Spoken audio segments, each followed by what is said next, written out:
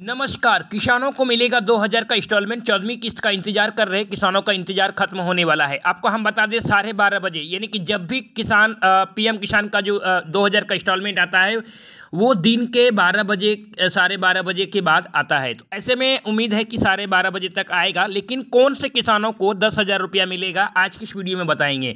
आपको बता दें कि कुछ किसान ये भी कन्फ्यूज़ हो रहे हैं अभी न्यूज़ चल रहे कि भाई आ, कुछ किसानों को दस हज़ार तक भी दिए जाएँगे। तो आपको हम बता दें कौन से किसानों को दस हज़ार रुपया दिए जाएँगे जैसे कि आपको बता दें कि पीएम किसान सम्मान निधि योजना के अंतर्गत किसानों को छः हज़ार रुपया सालाना दिया जाता है, जिसमें से टोटल तीन किस्त देना दिया जाता है सरकार की तरफ़ से दो हज़ार दो हज़ार दो हज़ार, जो कि प्रत्येक चार महीना के अंदर में दिया जाता है। तो आपको हम बताते चले कि पीएम किसान सम्मान निधि का योजना के अंतर्गत एक बहुत बड़ी अपडेट निकल के आ रही है कि पंद्रह जून को साढ़े बा साढ़े बारह बजे लगभग जो है, पीएम किसान का इंस्टॉलमेंट आने की उम्मीद लगाई जा रही है, मीडिया सूत्रों के मुताबिक। लेकिन दस हज़ार कौन से किसानों को मिलेगा, ये जानना बेहद ही ज़रूरी है, क्योंकि ये भी न्यूज़ चल रहा है कि भाई दस हज़ार भी मिलेगा कौन से किसानों को।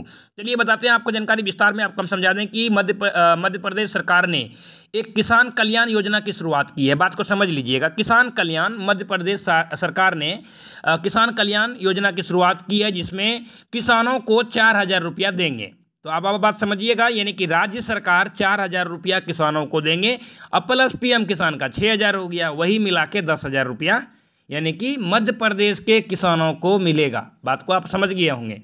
बाकी अपडेट, ऐसे ही तमाम अपडेट के लिए सब्सक्राइब करके रखिएगा ताकि आपको ऐसे ही पीएम किसान संबंधित और भी कोई नई जानकारी लेके आपको लिए आते रहेंगे। धन्यवाद।